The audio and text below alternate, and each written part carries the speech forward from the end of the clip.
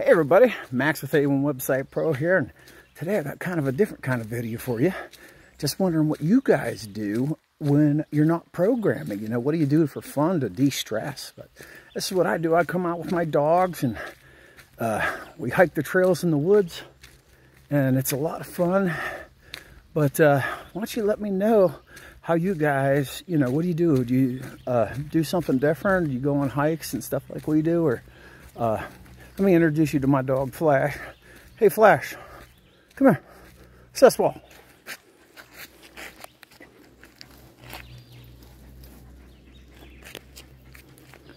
Blutz. Roll over. Say hello to everybody. but we're out here having puppy play time. We're on a, also on a search and rescue team here And uh, western Pennsylvania, a little town called Ludlow. But uh, this is what we do. I just kind of curious as to what all the other programmers are doing and, uh, you know, what you do to de-stress. Talk to you soon. Bye.